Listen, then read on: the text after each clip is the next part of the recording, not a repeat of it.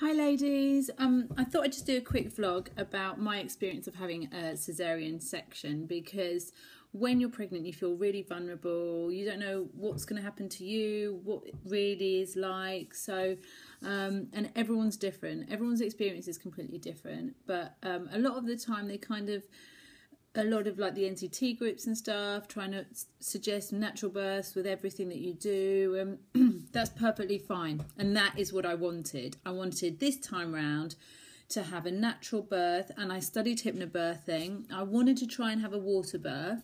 Um, but ladies, if things change, do not beat yourself up and feel really stressed about it. Just embrace it and go with it. That's what I decided to do this time round. First time round, nearly six years ago, uh, my daughter, the birth was just a nightmare birth.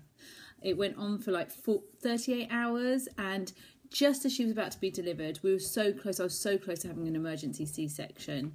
And the thought of going through all of that birth, the labour, oh my goodness, afterwards, I was completely out of it. I didn't really, I didn't enjoy the experience whatsoever. I was in so much pain. This time round, Oh my god, it was like a whole different story. So I'd done my hypnobirthing, I'd done a course of hypnobirthing, I've been um, doing all my breathing, my affirmations, and everything, going amazingly until in the last few weeks I found out that I had a big baby. Um, and after my daughter's birth, I re- she was eight pound, eight and a half pounds two weeks early, and I was like, there's no way that I'm going to go through an emergency C-section. So I either want to have a natural birth with uh, hypnobirth using my hypnobirthing, or I want to have an elected C-section. And it was a decision I chose to make along with the doctors that it would be very unlikely that if this was a big baby, which again they can guesstimate, and sometimes they say, "Oh, you're having a big baby," and it can pop out really small. But at the time, they were guesstimating he was going to be about nine pounds, and they said it can be 20% either way. So I was thinking, oh my gosh, there's absolutely no way I can do that naturally. Um, so we decided to go for an elective cesarean section. Now, my experience, everyone's different, of course, but personally, my experience, wow, I loved it. Number one, because I am a bit of a control freak. I like to plan everything. I like to know when things are happening. And I was very on edge, like I was with my daughter. When when am I going to go into labour? Is it going to happen in the middle of Tesco's? Oh my goodness! Are we going to have childcare for our daughter? Will my husband be able to be with me? Is he nearby? That worry was out of the window. You don't need to. I didn't need to worry about anything like that. It was great. I found out I was having an elective cesarean. My mum looked after our daughter. Got up at five, six in the morning, had a shower, put my makeup on, blow dried my hair. I felt all clean and fresh and nice.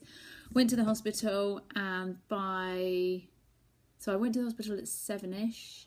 By ten o'clock I was on the ward with my son. And who says you can't have a natural emotional birth with a C section? If they do, they're wrong. During my cesarean, I used my hypnobirthing techniques. I used my breathing before I had uh, the spinal, what do they call it? The spinal block. Um, didn't feel anything really. I didn't, the pain, the only pain was just when the cannula went in. Apart from that, my breathing really helped me. I stayed really calm. Um, when Rocco was born, he latched on straight away, which was amazing. And he was such a big, greedy boy that he fed for an hour and a half. Yep, they were actually wheeling me to the ward and he was still feeding. And then he fed completely through the night after that as well for about four hours. so when they predicted I was having a big baby, they were 100% right. He came out at £10 one. So uh, that was bigger than I expected. And I'm so happy I had a C section and it was planned. And I knew what was happening. That took a lot of the stress away of the fine, you know, the final week and stuff when you're feeling really, oh gosh, I'm so tired, I'm so heavy. When is it going to happen? Is it going to be soon? That was taken away, but also the stress of going through an intense, heavy labour. Some women are really lucky and they can give birth in water pools. I've got a friend who had an amazing experience in a uh, birthing pool. Um, but we're all so different, ladies. So if your doctor does say you might have to have a C section, don't beat yourself up. Just try and brace it as naturally as possible, like I did. I breastfed afterwards. We had instant skin on skin. Um, I used my hypnobirthing techniques, and I was just totally aware of what was going on as soon as he was born, I mean, I just, as soon as I saw him and held him, I just burst into tears. It was just such an emotional, beautiful experience. And if I ever had another one, which I'm not going to, I would do that all over again because that was amazing if I could. Um, so yeah, so that's just my my personal experience of a C-section. Hope that helps if you're thinking and you want a positive C-section experience. Oh, and also uh, my scar is is amazing. You don't notice it at all, and it's under the like the bikini line, so all good.